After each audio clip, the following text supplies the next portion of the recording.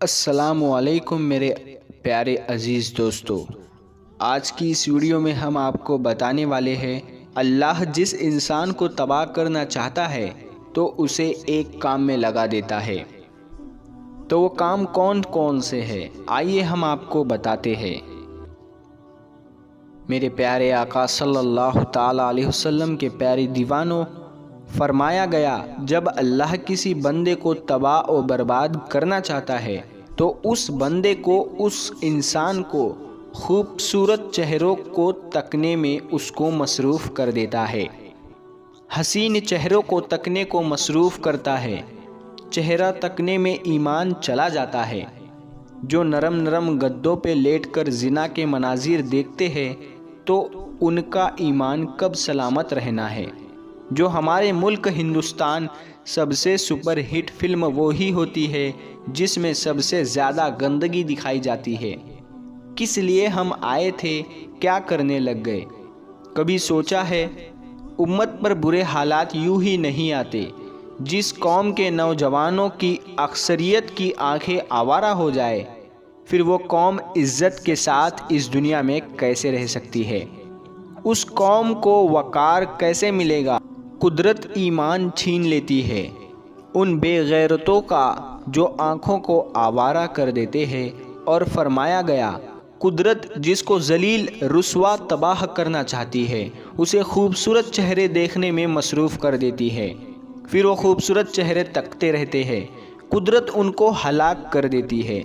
जिसे कुदरत तबाह बर्बाद करना चाहती है, उसे ऐसे कामों में लगा देती है। खूबसूरत चेहरों को देखने वाले हलाक हो जाते हैं, फिर जो नंगे जिस्मों को तक रहे हैं, वो रात रात भर तीन तीन बजे तक तो वो कौम कैसे कायम रह सकती है? उस कौम का वजूद कैसे कायम रहेगा? काश हमने अपने बुज़ुर्गों की बात मान ली होती और बदनज़री कितनी बुरी चीज़ है। एक सूफ़ी बुज़ुर्ग फरमाते हैं कि बदनज़री करने वाले लोगों के जिस्म में अल्लाह तबरक व ताली बदबू पैदा कर देता है। बुजुर्गान दीन सूफिया ने लिखा है, इसको लिखने वाले हाफिज़ इब्ने कईम हैं।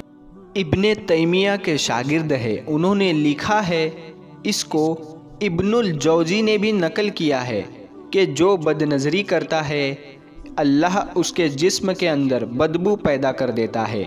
यानी कि वो गुनाह अल्लाह के नज़दीक कितना बड़ा गुनाह है, किस तरह से ये बदतरीन गुनाह है। कि खुदा उन लोगों को बेनकाब करता है, बदबूदार जिस्म देकर, कि ये बद नज़री करने वाले लोग हैं। और फिर इस पर मज़ीद एक बशारत भी है, कि जो लोग अपने आप को बद नज़री से बचाते हैं, अल्लाह तबारक व ताला उनके जिस्म में कुदरती तौर पर खुशबू पैदा कर देता है।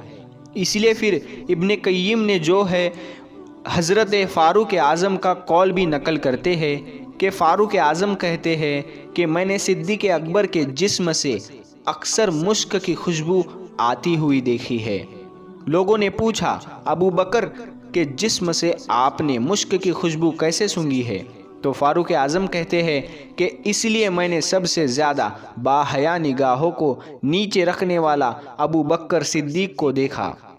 उसकी बरकत से मैंने यह महसूस किया। सुबहान अल्लाह। अगर बद नज़री करो तो जिस्म में जीते जी बदबू आती है तो मरने के बाद लाश का क्या होगा? निगाहों की हिफाजत करना कोई छोटी मोटी नेकी नहीं है, और निगाहों को आवारा करना कोई छोटा मोटा गुनाह नहीं है। मेरे आका सल्लल्लाहु अलैहि वसल्लम फरमाते हैं कि जब बंदे की नज़र किसी हुस्न पर पड़े, या डाले नहीं पड़ जाए, डाले नहीं पड़ जाए, डालने वालों को तो शुमार ही नहीं है। अल्लाह हमारे सबके हाल पर रहम करे। पड़ गई खूबसूरती पर निगाह, हुस्न पर निगाह पड़ गई। आका सल्लल्लाहु अलैहि वसल्लम फरमाते हैं, इस तस्वुर के साथ फ़ौर फेर ली कि अल्लाह गैरत वाला खुदा देख रहा है। मेरे आका फरमाते हैं, सिर्फ़ निगाह फेरने की बरकत से उसकी सारी ज़िंदगी के गुनाह वहीं पर बख्श दिए जाते हैं। और उसी वक्त तीन सौ हूरों के साथ उसका निकाह कर दिया जाता है। ये दिल को बहलाने की बातें नहीं हैं, ये आमीना के लाल की बातें हैं। जिसके कहने पे बिन देखे खुदा को मान लिया, उसके कहने पर यह निकाह की दास्तान ना माने तो फिर क्या माने? और उनकी ना माने तो किसकी बात माने? अल्लाह की कसम, दुनिया में बहुत सच्चे आए, मगर उनसे बड़ा सच्चा ना कोई था, ना है और ना होगा। मज़ाक में भी झूठ ना बोलने वाले। उनकी सच्चाई की गवाही खुद दुश्मन भी देते नज़र आते हैं। सुबहान अल्लाह देखिए, हुस्न तो एक ही है मेरे आका सल्लल्लाहु अलैहि वसल्लम का। इसीलिए कहने वालों ने क्या खूब कहा है। हुस्न यूसुफ का देखकर लोग ख़रीदने आ गए, लेकिन हुस्न मुस्तफ़ा को देखकर लोग बिकने आ गए। सुबहान अल्लाह तो प्यारे अज़ीज़ दोस्तों, अपनी निगाहों की हिफाजत करो। अल्लाह तबारक व ताली से आखिर में यही दुआ है कि अल्लाह तबारक व ताली हम सब पर रहम करे, हमारे सब के हाल पर रहम करे। अल्लाह तबारक व ताली हमें बद निगाही से बचाए। तो मेरे प्यारे अज़ीज़ दोस्तों, आज की इस वीडियो में बस इतना ही। अगर वीडियो आपको पसंद आया हो तो इस वीडियो को दूसरों तक ज़रूर शेयर करना। इसे यहाँ तक ही मत रखना, इसे अपने दोस्तों में शेयर करना और इस वीडियो को लाइक करके ज़रूर जाना, ताकि लाइक करने से वीडियो वायरल होती है। तो प्यारे दोस्तों, आज की वीडियो में इतना ही। मिलते हैं फिर एक नई वीडियो के साथ। तब तक के लिए अस्सलाम वालेकुम अल्लाह हाफिज़।